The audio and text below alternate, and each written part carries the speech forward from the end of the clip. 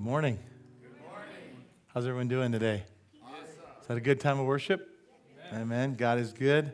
I tell you, guys, like uh, Rachel was saying and Mariah, such good words that just the key is surrender, you know?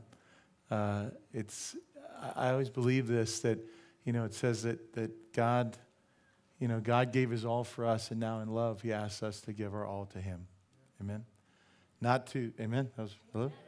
And, uh, but is that we, we do it out of love. Amen. We don't do it because we've got to. We do it because we want to. Amen. And there's such a blessing in surrender. You know, there's such a blessing in brokenness. And we need to have that before God and, and have that dependence on Him. If you have Bibles, please turn with me to Daniel chapter 7, verse 15. And as we've been studying, you know, Daniel is one of the most prophetic books there are. It's an amazing book, and uh, we've been learning a lot. And now we've moved, the first six chapters were kind of Daniel's history, but now we're moving to prophetically. And uh, how many know it's good to know what's going to happen in the last days? Because we're in the last days, and so it's good to know what uh, coming attractions, because uh, how many can admit it's a little scary out there?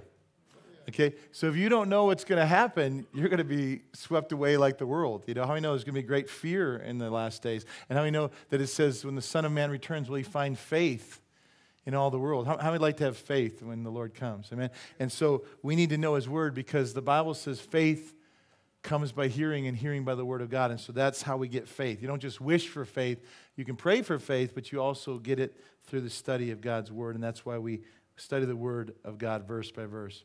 I heard a, oh, and the title of today's message is Four Beasts, Four Great Beasts, Part Two. Last one, yes, last week was Part One. I heard a cartoon uh, this week. It's pretty cool. It said there was a little man sitting at his home office, and he called the editor of the newspaper and said, Mr. Editor, I just want to let you know that I didn't receive my paper today. And the editor said, Oh, I'm sorry about that. Would you like us to send you out a new one or one to run right now? And he said, No, I just wanted to thank you. How many can say amen to that? you know, the paper, I, I, could only li- I could only read so much and I could only listen to so much news, even good news. I mean, even like people that are, you know, conservative news people, because uh, I get worked up. Does anyone else get worked up by the news? Anyone else out there? Two people? You guys are liars. But, anyways, I get worked up and I get frustrated. But how many know when you know what's happening, as we're going to see today, then you can have peace to know that God is in control. How many know God is not biting his nails? You know, he's not freaking out. He's not like what we're tempted to do. But hear this, I, as I said last week, I love how um, we were saying this, how God is light. And that means God travels at the speed, he's light. So there is no, they say, Einstein, his theory was if you travel at the speed of light, there is no time. Amen? That time is now. So that that means God is looking at Adam and Eve right now. And he's looking at the end of our life right now. And so there isn't like, you remember Adam and Eve? It's, so he's, how many know? He's already seen your life lived. So he's not going, huh. He's going, I know. That's why he can say things like this before Esau was ever born, I didn't like him. You know? And you go, how could he do that? Because he saw his life before it was ever lived out. Amen? God sees everything. And when the point I want to make, I don't know if I'm making a point, but uh, the point I'm trying to make is that you can have peace that God has already seen the plan for your life to be victorious in Him. Amen. So rest in that when you see that, when you see crazy times. Or, and I heard a pastor say this week that one of the greatest works of the devil is fear. Yes. Amen. You know, some of you know my wife was diagnosed with breast cancer in, in January, uh, February or January, and we were kind of freaked out by it. But how many know that God is still a healer? But, but the thing, what, what the enemy tries to tempt you is with fear, right? Cancer, he could come back. But how many know we have to know God is good and he's faithful? And, and like Paul said, I love this. I love, I love to say things that really frustrate the devil. But here's what, the, here's what Paul said To live is Christ, to die is gain. How many know if you're in Christ, you cannot lose? Because you're going to live, you're going to live for Christ. And if you die, if God allows you to go home, then it's good too. And I always say, you know, the Chuck Smith thing where he says that it's funny how we talk about how good heaven is, but we sure try hard to stay out of it. You know, how you know we shouldn't try to do crazy things, but how you know if it's our time, we should be excited. We get to go home. It's a homecoming, not he died. You know, he got to go home. He, he graduated. That's cool. Amen. The final six chapters, I said, of Daniel are not autobiographical history of Daniel anymore, but they're incredible prophecy. And that's what we're going to look at today, for they deal with future events. And with Daniel, in Daniel's day, they were future, but how many know in our day, from our perspective, that a lot of them already come to pass? And, and they will come to pass very soon. And just kind of a recap of what we saw last week is we saw four great beasts. Four great beasts. And here it is. The first beast was Babylon. It was a lion with great eagle's wings that had been, we said, were clipped off. And that was when Nebuchadnezzar, remember, he fell. He got prideful. And he said, Look what I've done. God humbled him. He became a beast. His wings were clipped off. But then he was restored to his kingdom. He became a believer in God. And then he was restored. And then we saw the second one. The beast was a bear spoke of the Medo Persian Empire. The Medes and the Persians combined an empire, and that's why you have the chest of silver uh, and two arms, two, two uh, governments becoming one.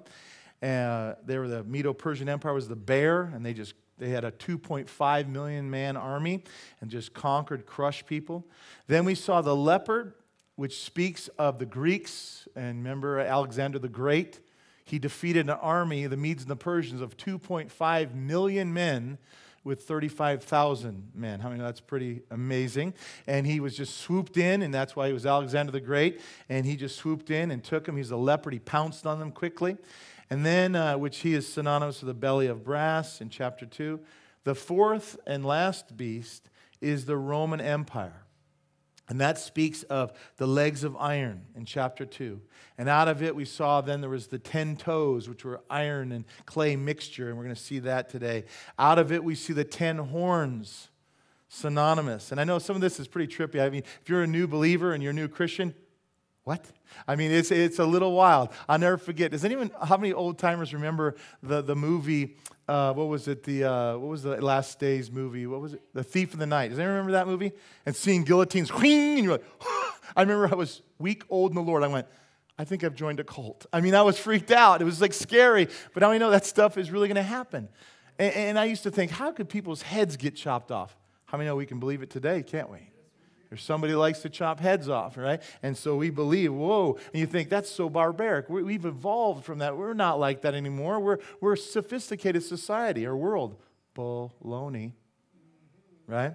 So we see that, and God was speaking that. But today we're going to see that uh, this is this is the old uh, this is the ten toes and the mixed with clay the roman empire and these ten toes speaks the confederation of a ten nation coming out of the old Roman Empire. And this will be, um, some people say this is going to be the uh, European Union.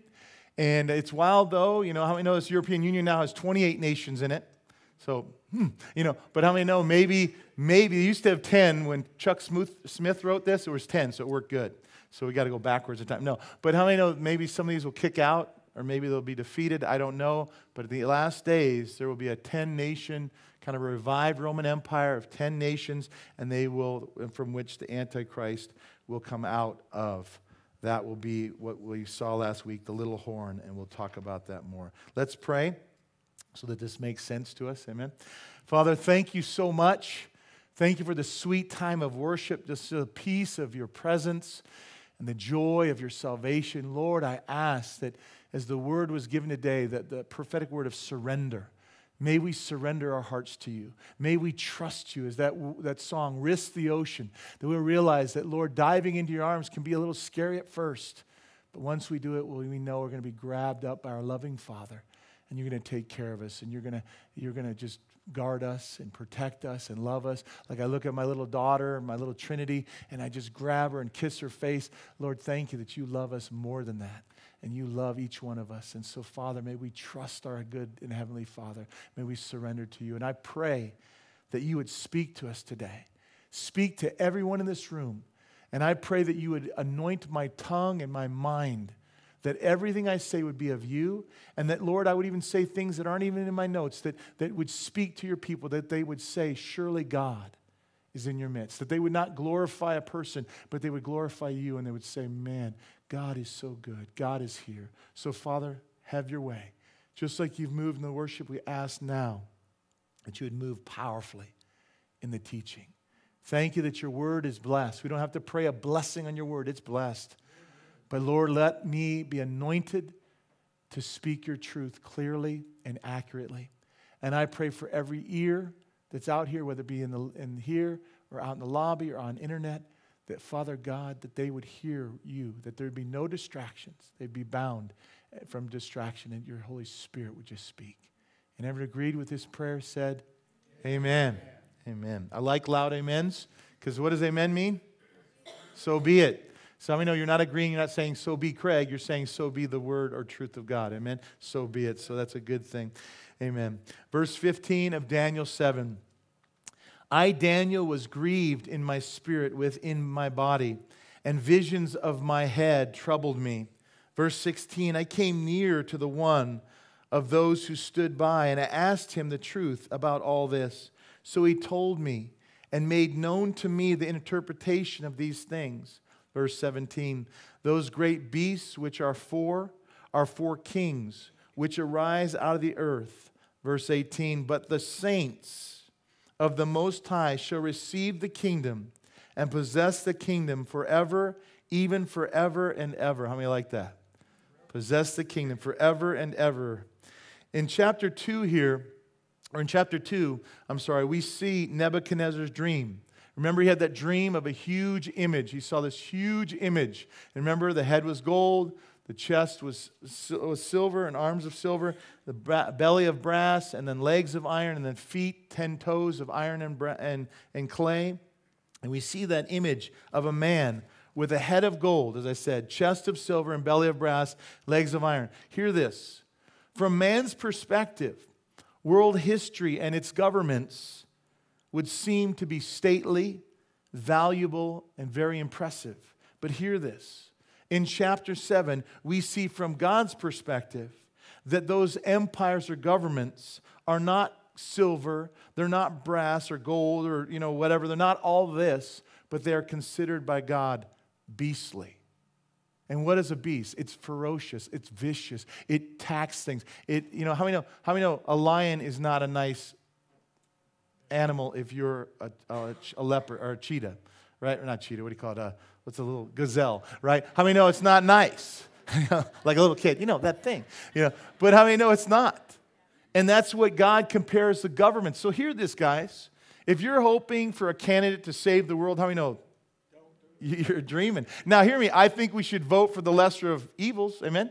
You know, I used to tell people, I was talking to a Mormon yesterday, and we were talking about uh, Mitt Romney. And I remember Christians would say, I can't vote for a Mormon. And yet, I remember this one pastor said, Well, they say it's a lesser of two evils. I said, Hey, eh, this one pastor said, If, if Jesus isn't on the ballot, you're always voting for the lesser of two evils. Yeah, right. You know, as long as, amen, you could clap around that. But God is good.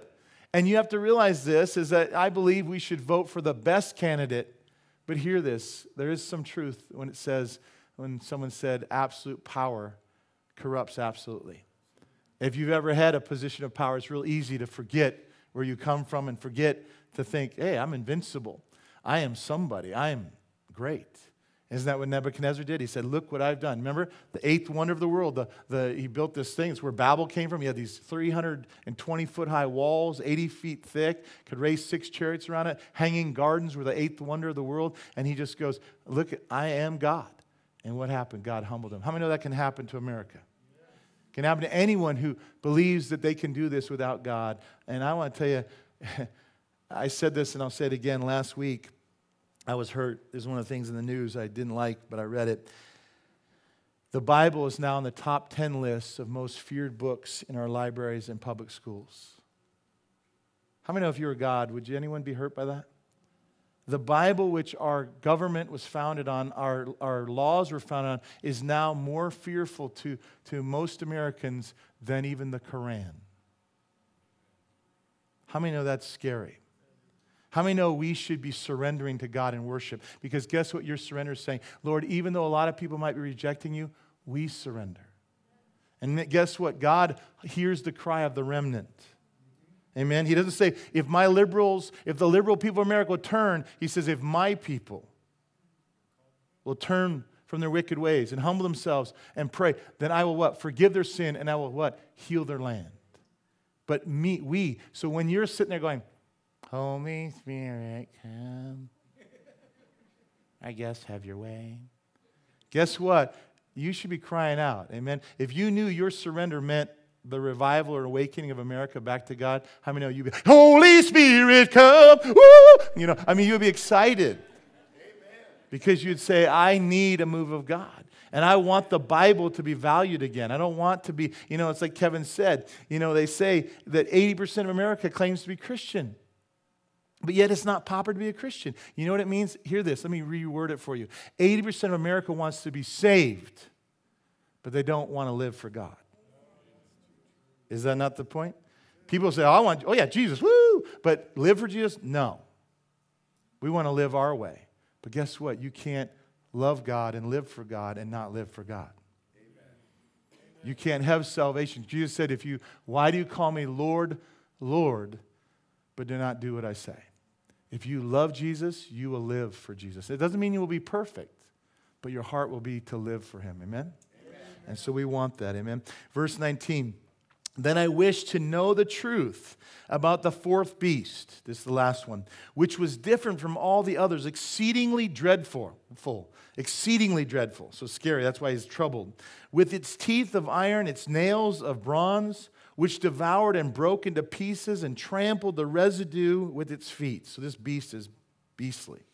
Verse 20. And then the ten horns that were on its head, and, and another horn which came up before which the, the uh, three fell, namely that horn, or namely that horn which the eyes and mouth which spoke pompous words, whose appearance was greater than his fellows. Verse 21 I was watching, and the same uh, horn was making war against the saints and prevailing against them.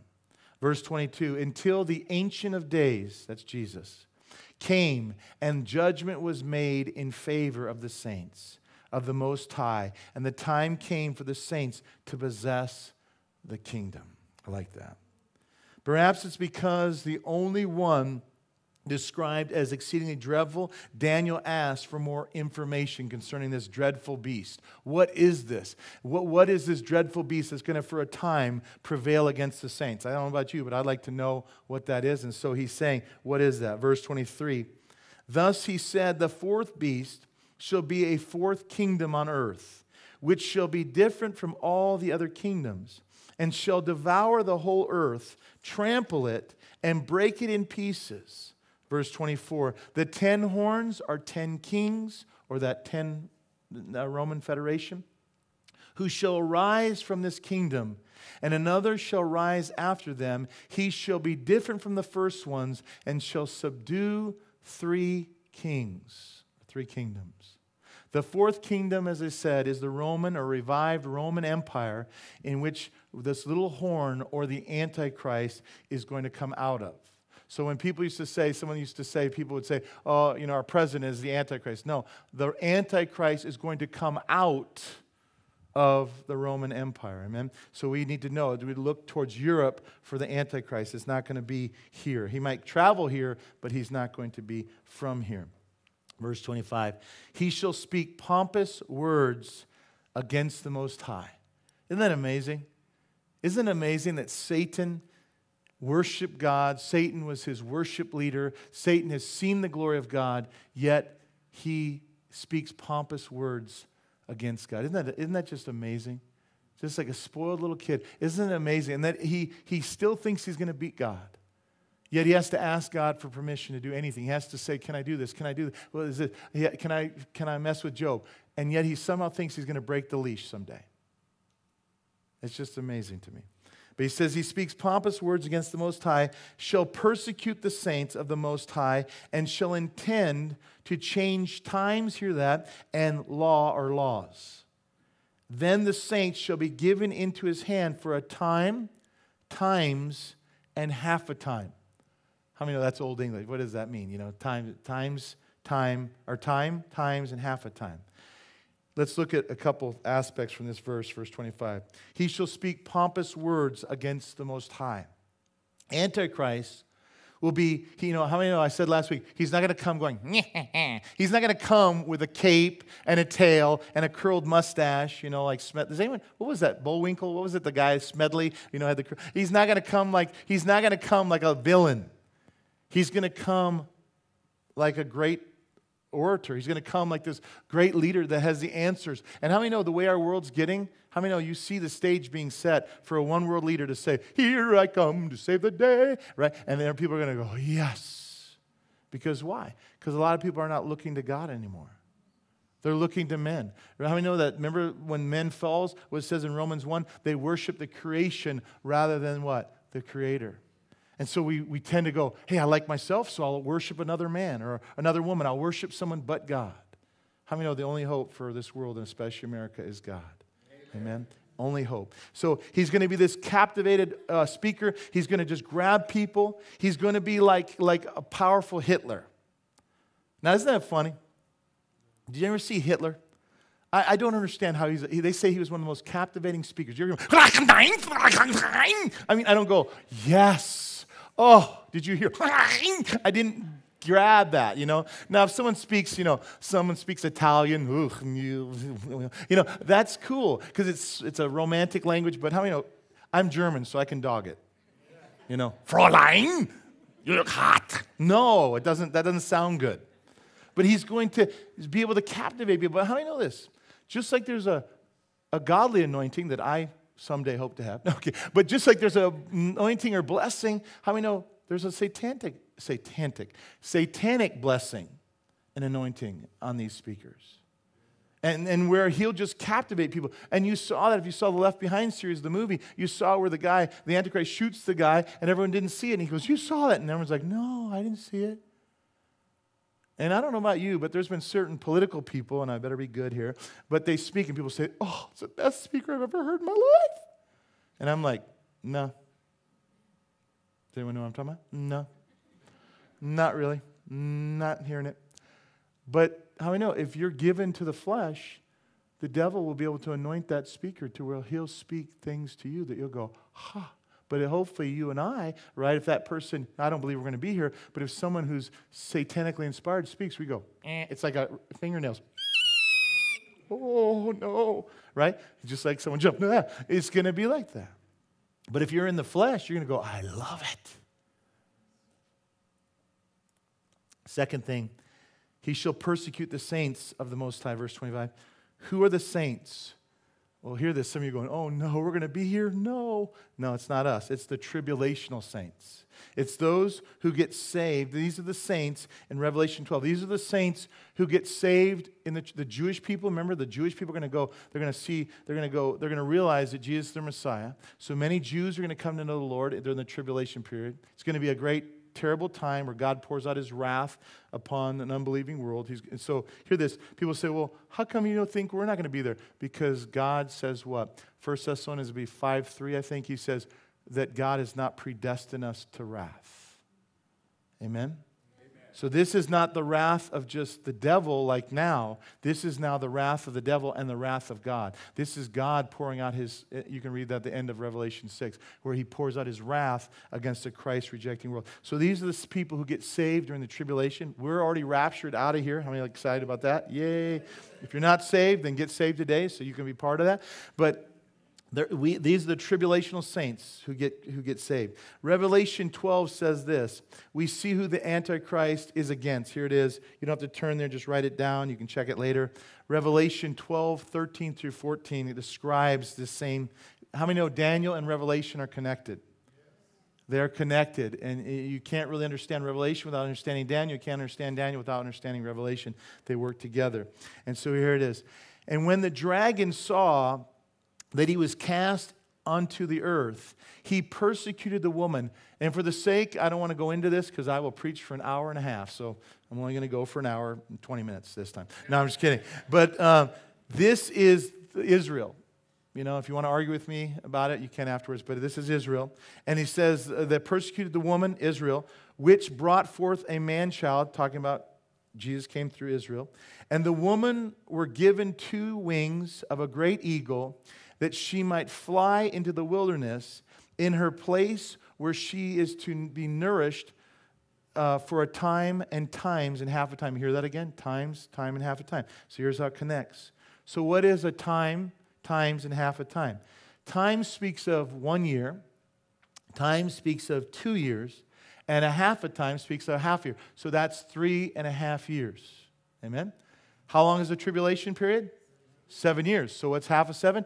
Three and a half. So the first three and a half years of the tribulation will be God pouring out his wrath still, but the Antichrist will look good. He'll be the, the, the, the Savior of the day, and he'll be the one calling everyone together in peace, and he'll bring Israel. Some people say, I've told you, scholars believe that you, there's a dome of the rock that you see next to the dome. If you're looking for the Mount of Olives, you see the dome of the rock, but right to the right of it is this little called the Dome of the Spirits and uh, I can show you a picture of it. But the Dome of the Spirits, but they believe that's where the Ark of the Covenant was. So, really, it says in Isaiah, mark off the court of the Gentiles. And so that's what the Dome of the Rock is. But some people believe the Antichrist will allow the Jews to have a temple right next to the Dome of the Rock. How many know that'd be an amazing thing? Amazing. And you think, oh, peace, this guy's so great. And all the Jews are going to go, oh, but then after three and a half years, he's going to say, he's going to go, he's going to say, guess what? I'm not who you think I am.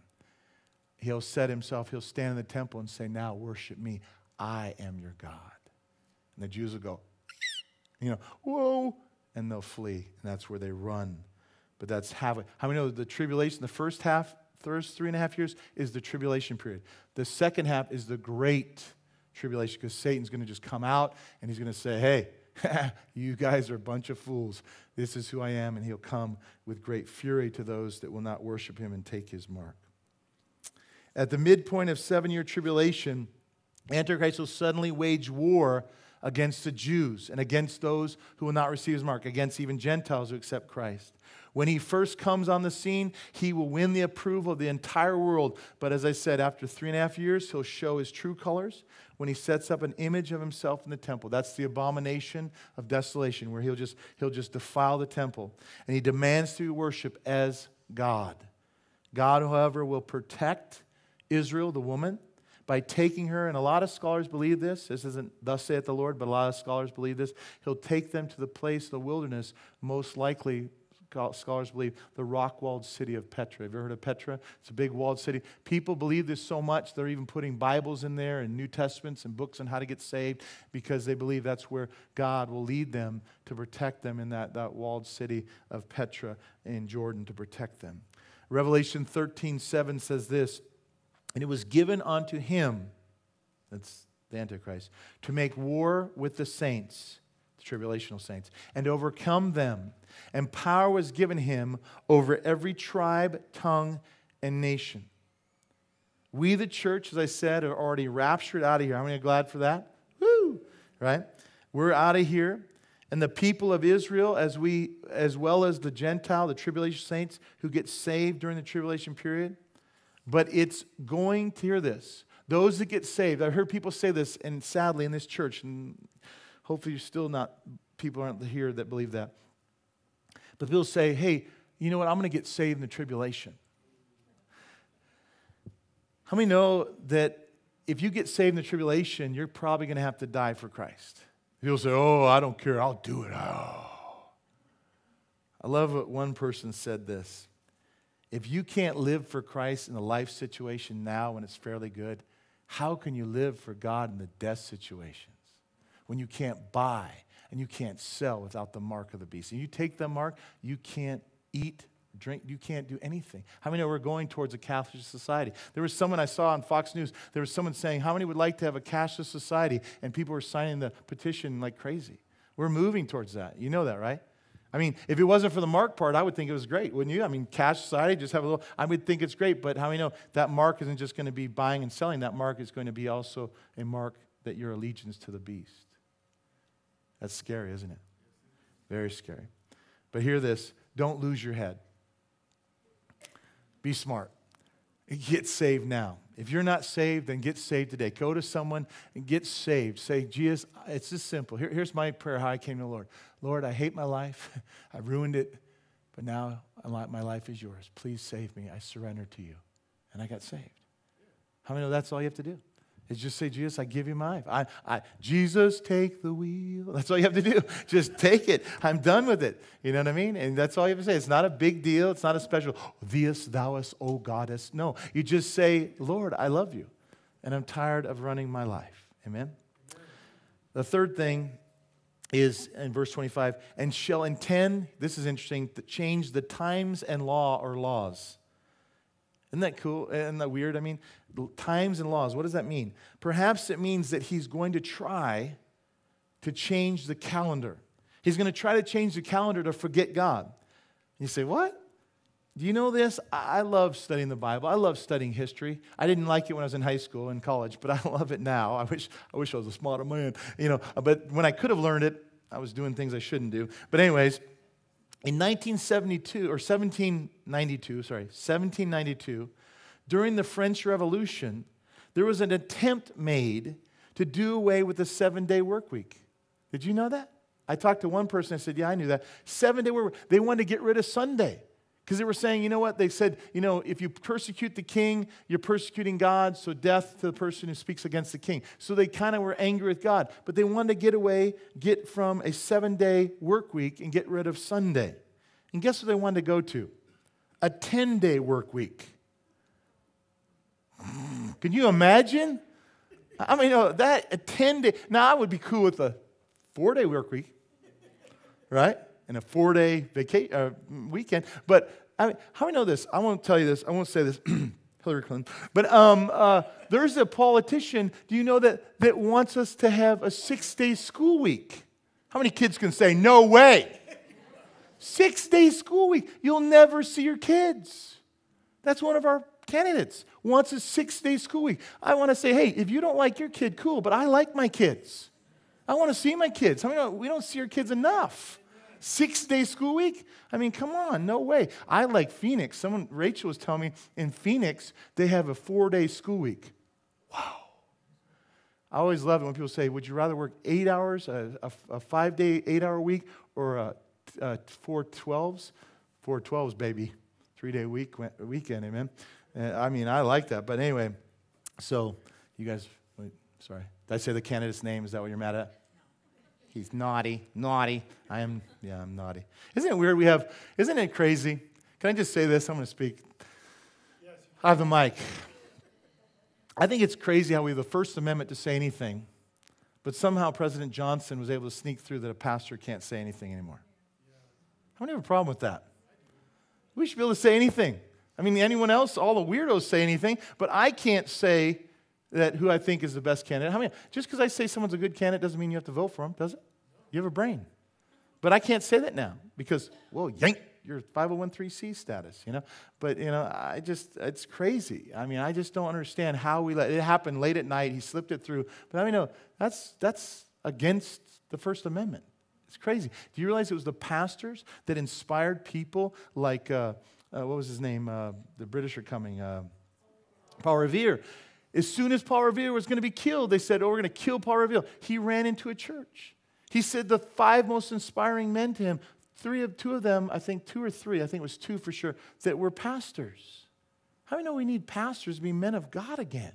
We need pastors to speak the truth and are willing to put their life. And I love this. Paul Revere goes, Hey, just pray for us. We're probably going to be killed. And you know what happened? There was 100 men there at the church said, No, we're going to die with you. And they said, We're getting about 250 by lunch, so don't worry about it. We got your back. How many know today? Amen. Bummer, dude, later. You know what I mean? It's like, we'll pray for you. God bless you. You know, he's over there. You know I mean? We would just, you know, how many know we need some grit again? Yes. We need some loving grit that says, hey, no, we're not going to be this way. You know what I mean? I, anyway, yeah, I get a little worked up. Anyway, where am I? The possibility also that he knows, hear this, this is the other thing where he says he's going to change the times, but he also says he's going to change the law that uh, he knows the prophecies about Daniel, the Daniel's prophecies in Revelation, but he thinks he can beat the rap. He thinks he can beat God. How many know that's he's an insane genius?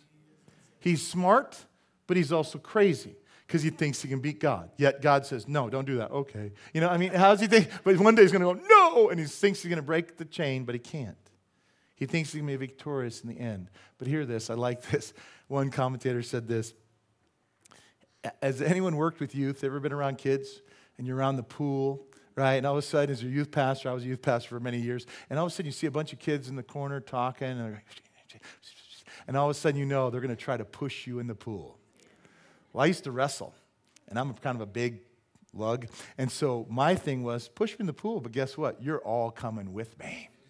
And that's kind of what I think Satan does. You know, he's like, hey, I'm already going to hell, so I might as well try to grab as many people with me as possible. And how many know? That's why he's fierce, that's why he's dangerous, and that's why we should want nothing to do with him. Because he is, he knows, what is this, the old worldly saying? Misery loves company. I don't know about you, I don't like misery. So I don't want to be in his company of misery. Amen? So we should flee him and get away from him as best as possible in the name of Jesus. Lastly, he says, The saints shall be given into his hand. This is the Antichrist for a time, times, and half a time. But hear this only for three and a half years. Now, it's going to seem like a long three and a half years. Amen? That's why I say get saved today. If you're not saved, if you're not sure you're saved, then give your heart to Jesus so that you will be Calgon, take me away. Amen. Out of here so you don't have to go through it because I'll tell you this. You know, I, a police officer in our church, right? This was about 14 years ago, but he was trying to show me how bad Al Qaeda was, and he showed me a video of a beheading. And I will tell you that I wish I hadn't watched it, but that was this. It wasn't the video because, you know, I used to watch bad movies before Christ, and I've seen a lot of, you know, horror movies. But what got me was the sound. And it literally changed my life. I mean, to where I have to really pray to love radical Al Qaeda people because we're living in brutal, brutal times. And it's only going to get worse, amen, before it gets better. And so that's why we need to live for God and we need to be on a mission to get as many. I love what one pastor said. This world is like a sinking ship and we're to try to rescue as many people before it goes down. Amen?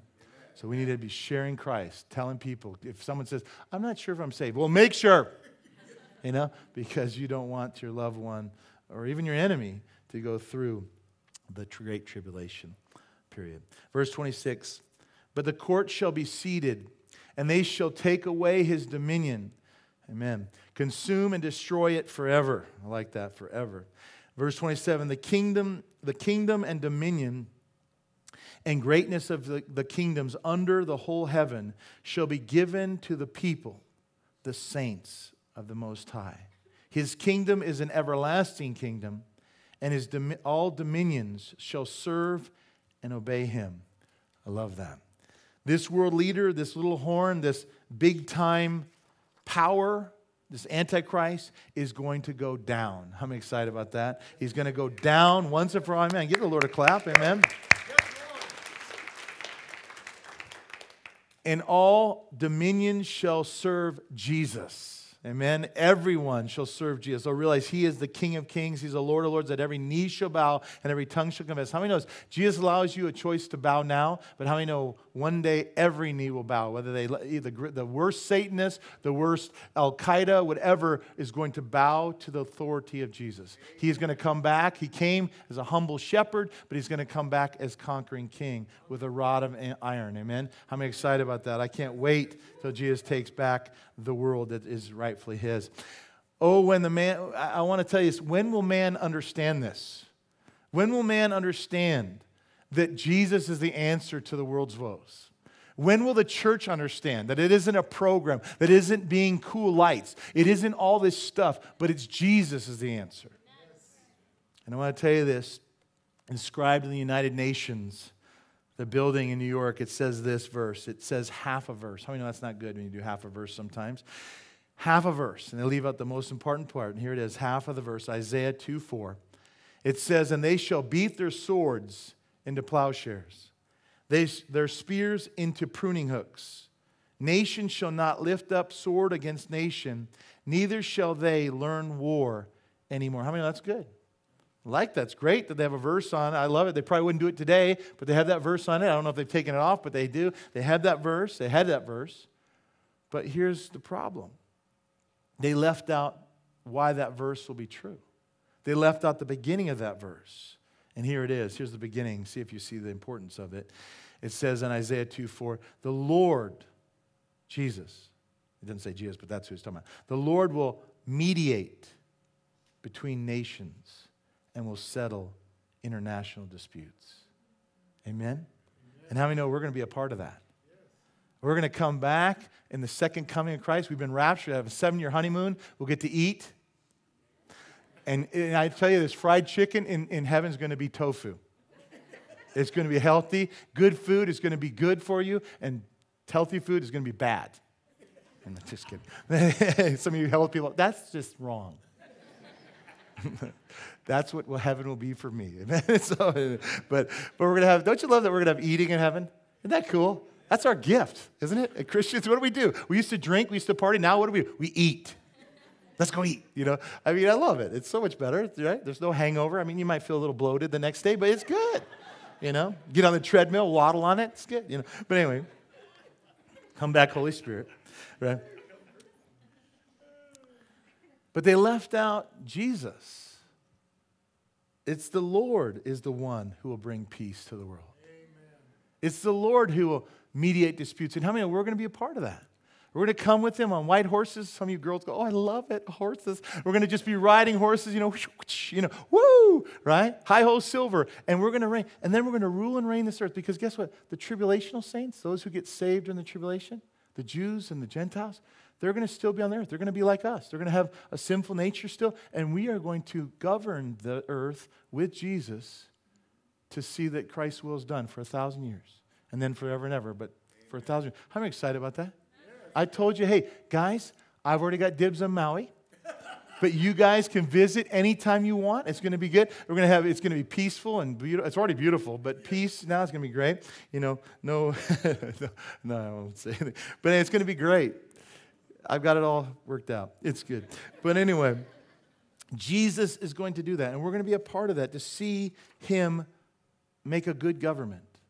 But hear this man's attempt to make good governments is beastly at best. Amen? It's amazing all the crazy things government people say. Do you remember, do you remember what President uh, Obama said? He said, If I spend half as much as Bush in my first term, do not vote for me a second term. Yet he spent more than all of our presidents combined. Eh. You know, but we can't say that, can we? But how many know? Isn't that a pretty big lie? But he'll say, Bush, oh, Bush, Bush, Bush, Bush, Bush, Bush. I love one person said, eight years and really? You couldn't do it? Nope, Bush. You think Bush is the Antichrist, wouldn't you? I mean, no, Bush isn't perfect, but he is a believer. Amen? You know, I, I love it when you hear Christians, I don't love it, I'm saying it facetiously, when you hear Christians shred Bush. I remember my grandma, she was a Christian, but she said, that bushy baby, bushy baby It wasn't good bushy, like bushy, cutesy baby. It was bad. But how many know? He's a believer. And we, how many know the Bible says this? We should be kind to all, especially those in the household of God. And sometimes we treat the world better than we treat Christians. That's weird. Amen? That's weird.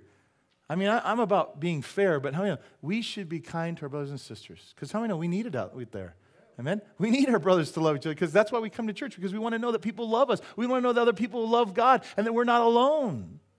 That's why I think it's so important that Bible says in the last days, don't forsake fellowshipping with other believers, which is the custom of some. In the last days, you'll want to stay home. Why? Because Al Qaeda could come, because it's just scary. But how many know you need to be here to be built up, to be encouraged, to see that there's other people that love Jesus too. Amen? It is encouraging when you see other people raise their hands. You go, I mean, I'm not the only weirdo that raises their hands. That's good. Woo. You know, obviously it's like satellite. Ooh, doo, doo, doo. I mean, hey, you know, lift your. I always love this. People go, I can't lift my hands. I say, it's no big deal. It's a personal worship. Lifting your hands doesn't mean anything. Then why is it such a big deal to you? Ah, because it's surrender. How many know if someone went, stick them up, you wouldn't go, personal. Sorry, I can't do it. you would be ready. Yeah, praise the Lord. Hallelujah.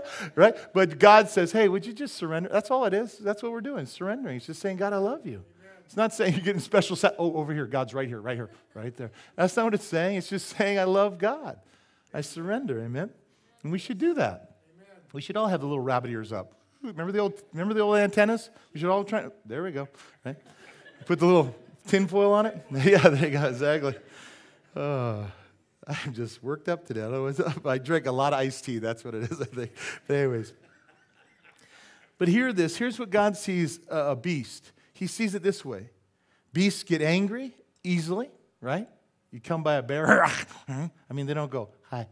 You don't hear purring bears, right? They get angry. They, they guard their territory fiercely. And they even like to expand their territory. They want to keep moving it out. They don't go, well, I give you rabbits needed territory. No, they just want to keep moving out. They also guard their territory ferociously, right? Just walk. You know, we used to, my aunt was like a major tree hugger from Oregon. And we used to go to, uh, I forget, it was Kodiak country. I don't know where it was in Alaska. But we'd see these really thick trails and about this beautiful lake. And these trails, it was grass, and these trails would be like this deep. And I go, man, these are beautiful trails. What are they? And the park ranger goes, these are Kodiak trails. Kodiak bear, biggest bear. And he goes, this is where they walk. And they walk around here like twice a day. And if you get in their way, they'll kill you because that's their territory. And they'll be like, wrong path, right? And I'm going, and we're hiking on this path. I'm going, I'm not the smartest tool, kid in the shed, but I'm got a tool in the shed, but I'm going, I don't think we should be on their trail.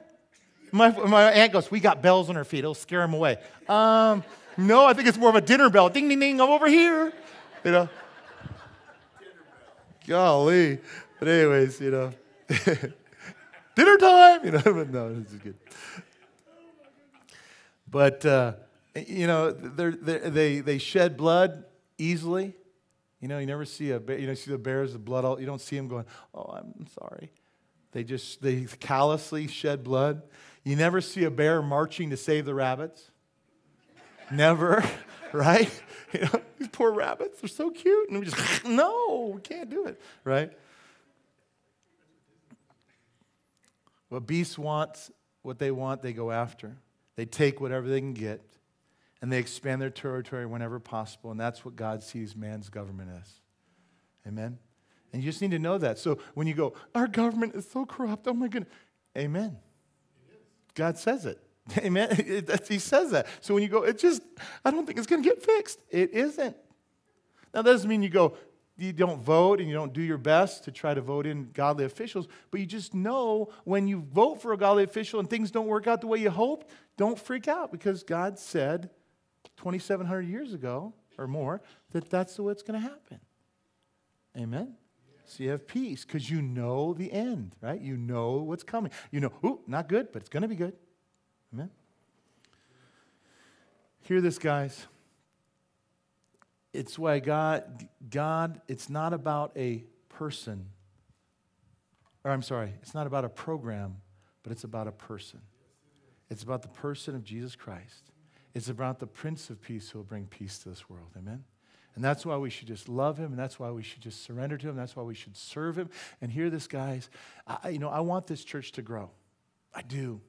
But hear this I don't want it to grow just behind in the seat. I want this to grow the way Jesus said. If you see on our logo, if you see on our front, it says making disciples. How many know Jesus didn't say, just get a bunch of people to come in and be carnal for me? He said, what? Go to the highways and byways and make what? Disciples. You know what the word disciple means? It means a disciplined follower of God, someone who follows God with all their heart and lives. How many know salvation is instant? But how many know if you really are saved and you really thank God for that, you will now say, I want to give you my life. You'll say, I will show you my faith in Christ by my what? Good works. My good works don't save me, but my good works are the proof of my love that God is real in my life. Amen? And that's what we want. That's what I want from you guys. I, I, am tired of having families. They say statistically that we're just like the world. How many like to see that change? I'd like to see divorce go down in this church. I'd like to see, uh, you know, child abuse go down. Like every, they say everything is like the world in the church. How many think that's wrong? And that should change. But that can only change, not with going to a worldly counselor, that changes with going to Jesus and surrendering your life to Him. Man does not have the ability to rule himself well. Why? Because he's sinful and corrupt beast without God. How many know that? How many can admit I was a beast? You know, I wake up in the morning now still. It takes a little while to go, Holy Spirit, please fill me, right? I don't wake up happy. Anyone else out there like that? I wake up, mm, you know? I'm happy at night, but not in the morning, right? But how many know? That's because without God, we're that way. How many know this? I always love this. Hear this. This is free. I always love what when Ravi Zacharias said this. You always want to see where someone is spiritually. See if they're religious or they really have a relationship with God. He says, ask them this question Do you believe man is basically good? And he said, the people say, Oh, yes, we're precious. Then you know, mm, religious. But he says, if you, you ask someone, What do you think of man? Oh, we are beasts. We're, we're mean. We're naughty. We need a Savior. Then you go, Ah, I think that one person knows Jesus. Amen? Because that's why you became a Christian, because you knew, I'm naughty without Jesus. I'm mean. I'm not a good mom. I'm not a good dad. I'm not a good anything. I need a Savior. And think about it, if you're here to go, I'm really awesome, then why do you need a Savior? You know? And trust us, if you ask us, we can find something bad about you. That's a church's gift, right? No, I'm just kidding. No, I'm just kidding. No, forgive me. Anyway. But hear this. On the other hand, the Ancient of Days, Jesus can change. He can, he, he can change this world. And his kingdom is right, it's beautiful. In his kingdom, there will be truth and justice always. I long for that. I can't, um, I can't wait for that. It's going to be so cool when Jesus rules and reigns this earth. Verse 28, and we're done. This is the end of the account. As for me, Daniel, my thoughts greatly troubled me because he saw all that was going to happen for a while. And my countenance changed. But, and here's the but, I love this, but I kept the matter in my heart. Amen? Daniel saw world history from God's perspective. Daniel was troubled because he saw the ravaging of the Antichrist in the world. But he kept the matter in his heart. How many know that you and I need to do that too? How many want to be like Daniel? I want to be a godly man, godly woman if you're a woman, right? But he kept, Daniel kept in his heart that the kingdom of God is coming soon. Hear this, guys. This world is going crazy. Amen? It's spinning out of control. But the only hope, the only way you can hold on to hope and be strong in these last days is to know that God is coming back soon. Amen. That we're either going to be raptured or he's coming, you know, but we're going to be raptured out of this. How many know that is the answer? Because if you don't know that, then you are going to freak out. You're going to hide out and you're going to just be like, uh, God, what are you doing? But if you know that God's coming back, you'll be able to endure. How many know this? I was reading today about the Church of Philadelphia, and one of the things it says about it, uh, that he will save those who what? Who persevere to the end. He who endures to the end will be saved. How many know he wouldn't say you need to endure if it wouldn't be hard to endure? He's saying that, that there's going to be times you go, Oh God, are you there? But we need to say, Nope, I know he's here because he's told me it was going to be bad. He's told me it was going to get hard. And how many, we're not going to see all this, but we're going to probably see some of this, the setup for it at least. Aren't we seeing it? And so we need to know that and go, oh, but I kept in my heart, even though I've seen the trouble in the Bible, I kept in my heart that God's coming back and going to make things right. Amen? He's going to set up his kingdom. Would you turn with me to one last scripture? Turn with me here. I want you to see this because you should mark this scripture in your Bible. It's in Luke chapter 21 verse 26. Luke 21, verse 26.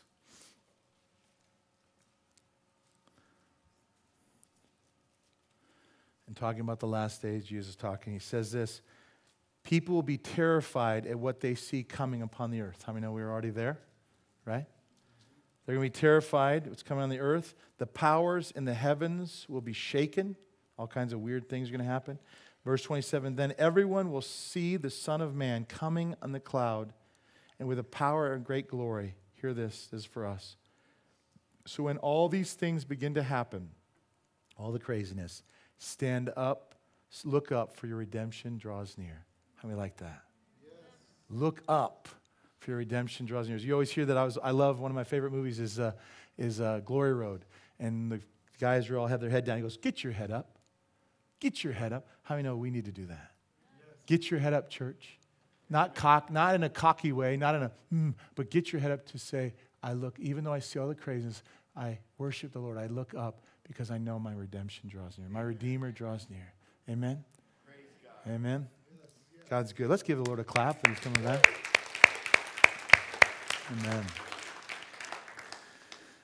And like I said, if you don't know Jesus and you'd like to know Jesus, and come see me. You know, um, maybe I'll just pray a prayer. Can I just pray a prayer to receive Jesus? And you just pray this prayer after me in your heart. And I just want to make that, and then I'll close with prayer.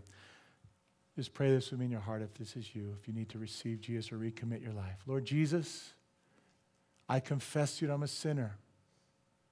Please forgive me my sin and cleanse me from all unrighteousness. I give you my life for the first time, or I recommit my life to you. But I ask that you would fill me and you'd empower me to live for you all the days of my life. Thank you for giving me, and thank you for saving me. Let me be ready for the rapture, Lord. I don't want to miss out on that glorious meeting you in the clouds. So, Father, I give you my life, and I want to live for you from this day forward. In Jesus' mighty name. Now I want to pray for those, everyone else. Father, I just thank you for this day. I thank you for your word. I thank you that you're such a good God. You don't sugarcoat it. You don't lie to us. You tell us that, that those who want to live a godly life will suffer persecution. You tell us that living in this sinful world is going to be hard at times. But you tell us to persevere. You say to us, Galatians 6 9, you say, Let us not lose heart in doing good, for in due time we shall reap if we not grow weary in well doing, give us that strength, amen. Give us strength to not grow weary. Give us strength to come to the church and pray, to come and be around other brothers and sisters who encourage us, to pray without ceasing, to cry out to you and say, Lord, as we said last week, that the two prayers, either for awakening and revival or return. Lord, either revive this country or return, Father. But we don't want it to stay the same. So, God, come come. If you're gonna if you're gonna eh, just revive us let there be a remnant of churches a remnant of people that love you with all their heart. But lord we thank you that no matter what happens you're to turn all things together for good and you're to come back and rule the reign and rule and reign this earth with an iron rod with love and justice and peace. And so god thank you for that. And satan will be bound forever and we're so excited about that day. So, Lord, let that hope be seared in love, seared into their, your people's brains and in our hearts. To whenever we get discouraged, whenever we see something in the news, whenever we see the Bible being pushed out of schools and, and, and even out of churches, that we will have encouragement that you're coming back soon to make everything right. Let us believe that. Let us not be cynical about that and say, oh, yeah, people have been saying that for years. No. Look up, for your redemption draws near. And Jesus, we don't know when you're going to come back, Lord, but we know today is sooner than yesterday. Amen. And so, Father, give us that hope. Bless your people. Let your people be. I love what one man of God said. The man or woman with the most hope is the most influential. So, God, even in these discouraging times, let us be Christians who are filled with the hope of salvation, the hope of your return, and the hope that you're going to come back and establish your kingdom. Amen. We should be the most joyful people there are. So, Lord, let it be so. In Jesus' mighty name. And every agreed said, Amen. Amen.